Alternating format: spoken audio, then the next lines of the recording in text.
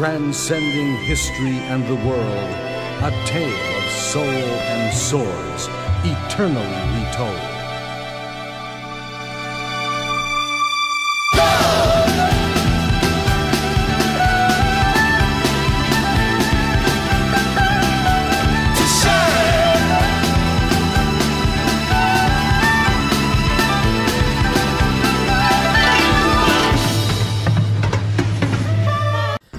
Estamos de volta com a verdadeira história e vamos falar sobre Merlin, para começar bem. E porque é inevitável, vamos falar do Vortigern, só um pouquinho. E se você não sabe por que eles estão juntos, vai descobrir. Se o Rei Arthur é o arquétipo do rei cavaleiro medieval, ninguém exemplificaria melhor a imagem do mago com o famoso e inesquecível Merlin. Porém, antes de conhecer a história do Merlin medieval, o Merlin que é mais conhecido por todos nós, temos que ir pro passado. Bem, bem pro passado. Para um dos grupos dos contos mais antigos da Bretanha, o Mabinogion, para descobrir os três Merlins que dão origem ao nosso Merlin. Então, sem mais delongas, aqui vamos nós. Tudo começa com uma poderosa feiticeira chamada Ceridwen, essa feiticeira, barra deusa, veio a ter dois filhos. Uma bela filha e um filho feio. A menina era bela, amada por todos e talentosa. O filho era só o cão chupando manga mesmo. E com gosto. Para o filho tivesse algum orgulho na vida e que as pessoas reconhecessem ele por alguma coisa, ela então decidiu preparar uma poção especial que conferiria a seu filho imenso conhecimento e potencial mágico. Porém, apenas as três primeiras gotas dessa poção dariam as qualidades importantes. O resto da poção seria um poderoso veneno mortal. Exatamente a mesma coisa da história do Fion, exceto que ao invés de ser um salmão, é uma poção. Ceridwen terminou a mistura e deixou a cargo de um velho e um jovem mexer a poção do caldeirão enquanto ela descansava. Gwydion, o jovem em questão, adormeceu enquanto toma é, tomava conta do caldeirão, derrubando a poção, fazendo com que três gotas caíssem em seu dedão do pé. Se não me engano, é do pé. Ao chupar o dedão, ele adquiriu as qualidades da poção e, assim, ganhou grande poder. Imbuído com conhecimento, ele rapidamente soube que Ceridwen não deixaria aquilo passar. E assim, fugiu. Logo, ela foi atrás dele assim fazendo um confronto digno da batalha entre a Madame Kim e o Merlin da Espada da Lei da Disney. O jovem Gwydion se transformava em vários animais diferentes para fugir de Ceridwen, e Ceridwen se transformava em resposta. De forma que, eventualmente, no final da caçada, Gwydion se disfarçou de um grão de milho para se esconder, e Ceridwen se transformou numa galinha, devorando todos os grãos, incluindo Gwydion. Depois de um tempo, Ceridwen seguiu sua vida normalmente até descobrir que estava grávida. De alguma forma, Gwydion se tornou a criança que ela iria dar à luz. Ela decidiu que a criança não receberia nada dela, nasceria sem graça, sem nome e sem títulos. Assim, eventualmente, nasceu o um menino desprovido e odiado pela mãe. Apesar de ter nascido novamente, o conhecimento e poderes que ele adquiriu em sua vida passada foram mantidos nessa nova vida. E logo, ainda muito jovem, ele eventualmente aos poucos foi enganando a sua mãe para receber tudo que ela negou, incluindo seu próprio nome. Taliesin, o lendário Bardo. Taliesin é o nome de um personagem muito presente no Mabinogion, tanto como um dos principais contadores da sua história, como um personagem que aparece em muitas lendas e contos diferentes, incluindo as lendas do rei Arthur de Gales. Embora Talese nunca tenha se unido à corte de Arthur aqui, curiosamente seu meu irmão, o feioso que eu mencionei lá atrás, filho da Ceridwen, acabou se tornando um cavaleiro desse Arthur. Ha! Taliesin, portanto, é algo como um semideus, com grandes poderes mágicos, presente em várias histórias do Mabinogion. Além dessa versão lendária, existiu também o Talese da vida real, um bardo que contava as histórias do Talese lendário como se ele mesmo fosse o personagem em questão. E esse é o primeiro Merlin. Taliesin, o bardo. É importante salientar, no entanto, por que Taliesin tem alguma referência com Merlin? Bem, é o primeiro caso aqui. Na antiga Bretanha, bardos eram mágicos, basicamente. A palavra cantada ou escrita em forma de verso era uma forma de magia. e os bardos eram tão respeitados quanto temidos. E portanto, Taliesin, o maior bardo da Bretanha, era essencialmente o maior mago da Bretanha. A segunda versão de Merlin vem numa passagem do Reino Britânia. No livro Reis, é, História dos Reis da Bretanha, Mirdin é descrito como um velho profeta louco que surge durante uma breve passagem, profetizando grandes eventos durante o período de Vortinger e Ambrosius. Seu nome, Mirdin, se tornaria o nome do mago do rei Arthur no futuro. Porém, como as principais histórias medievais de Arthur vieram da França, e Mirdin lembrava muito o modo como os franceses falavam a palavra merda, seu nome foi alterado para Merlin, que também foi transcrito como Merlinus em alguns lugares. Às vezes também Mer Merlin acaba recebendo o nome de Ambrosius por algum motivo, dando origem ao Merlin Ambrosius. Mas normalmente são personagens distintos. Com isso, finalmente chegamos ao Merlin moderno. Porém, aqui introduzimos também Vortinger, que é muito importante para a história do Merlin. A gente chega lá, vai com calma. Seguindo as lendas, Vortinger foi o grande rei da Bretanha, que travou guerra contra os guerreiros Pictos do Norte. Em um momento de seu conflito, dois visitantes vieram além mar, os líderes saxões Hengest e Horsa. Hengest e Horsa ofereceram soldados para Vortiger em troca de terras. Vortiger aceitou a entrada dos saxões na Bretanha, auxiliando na guerra contra o norte. A guerra contra os Pictos se arrastou durante muitos anos, e cada vez mais, mais e mais saxões chegavam e se assentavam na Bretanha. Os reis menores estavam insatisfeitos com essa chegada constante de saxões e reclamavam com Vortiger, mas Vortiger não só não ouviu eles, como também se decidiu se casar com uma das, uma das irmãs dos líderes saxões, para a infelicidade de seus filhos do casamento anterior.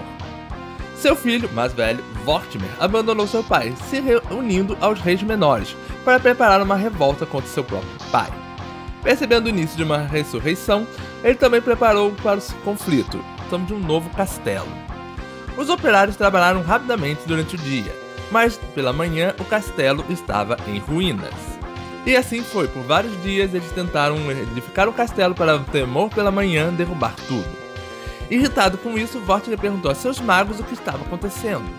Os magos disseram que a terra estava exigindo sacrifícios em sangue, e ele precisava do sangue de uma criança órfã para acalmar a terra, e assim poder construir seu castelo. Vortiger então ordenou seus soldados procurarem pelas terras próximas por uma criança que não tivesse pai. A busca levou os soldados até uma pequena igreja, onde vivia várias mulheres, sozinhas. Essas mulheres eram freiras, e entre essas freiras vivia um menino. Esse menino não tinha pai, pois, de acordo com a história das freiras, o menino era filho de um incubus, um demônio do sexo que violou uma das, das freiras, às vezes uma princesa, que foi deixada no, no, na igreja por conta disso. O menino poderia ter se tornado o próprio anticristo, se não fosse pelo fato de um padre que estava passando ali no momento decidir batizar o garoto, rompendo sua ligação com o mal, porém mantendo os poderes de seu pai. Os soldados então levam o menino até Vortinger, mas na presença do rei, o menino pede para falar com o mesmo. E o menino diz, o jovem Merlin, então, me sacrificar não vai acalmar a terra. Se quiser resolver o problema, cabe um grande fosso na frente do muro. E assim você descobrirá a razão dos tremores. Vortinger, considerando a história de origem do menino e os seus aparentes poderes, decidiu: ora, o que eu tenho a perder com isso? E mandou que cavasse. Os, é, os operários cavaram e pela manhã saíram correndo em pânico, pois libertaram das profundezas do, do castelo dois grandes dragões, um dragão vermelho e um dragão branco, que estavam lutando entre si. A lenda tem duas versões. Numa, o dragão vermelho sai vitorioso, e na outra, o dragão branco sai vitorioso.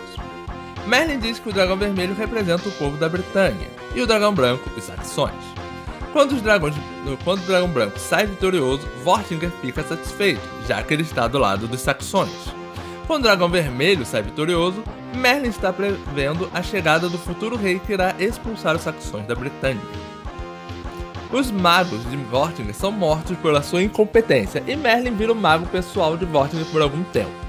Não é dito quando nem como, mas Merlin eventualmente foge de Vortinger e se une a Ambrosius e seus homens na batalha entre os saxões contra na batalha dos bretões contra os saxões.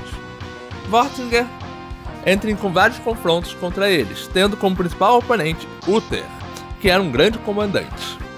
Eventualmente, Vortinger acaba sem aliados, isolado em um último castelo. Nesse último castelo, ele confronta Ambrosius pela última vez, que ateia fogo no castelo.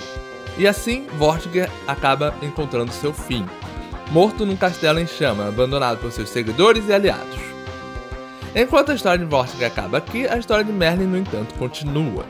Em algum momento, após Uther ser capaz de expulsar a maior parte dos saxões da Bretanha, Merlin teria usado magia, ou invocado gigantes, para edificar o Stonehenge, criando uma poderosa um poderoso círculo mágico que protegeria a ilha da Bretanha. Uther veio a se tornar rei e manteve Merlin como seu conselheiro. Quando Uther se apaixonou por Igraine, a esposa do rei da Cornualha, Merlin auxiliou Uther a deitar-se com Igraine, com uma condição. Uther teria que entregar a criança dessa união para ele.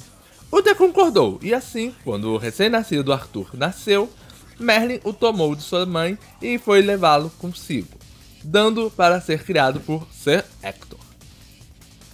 Merlin então permaneceu distante, tanto de Arthur quanto de Uther pelo resto do tempo, retornando apenas na morte de Uther, para auxiliar os padres a instruir a seleção do próximo grande rei, usando a espada na pedra. Em algumas lendas, a espada na pedra é a espada do próprio Uther, que foi fincada numa pedra para que ela não fosse é, tomada por seus inimigos que haviam matado ele numa emboscada. E teria sido o próprio Merlin que transcreveu na lâmina da espada as palavras: Aquele que tirar essa espada da pedra será o rei da Inglaterra. Quando Arthur puxa a espada da pedra, Merlin mais uma vez reaparece na história, legitimando Arthur como o verdadeiro grande rei. Merlin não chega a auxiliar tanto Arthur contra os reis menores, mas permanece ao seu lado na guerra contra as invasões saxãs, desaparecendo novamente ao final das guerras. Arthur vem a cruzar com Merlin novamente apenas durante uma aventura que ele está indo atrás do Cavaleiro Negro. Após salvar Arthur da, é, de quase ser morto pelo Cavaleiro Negro, que na verdade era Pelinor, Merlin instrui Arthur a ir buscar a ajuda da Dama do Lago para adquirir uma nova espada. Arthur então se encontra com a Dama do Lago e recebe a espada Excalibur.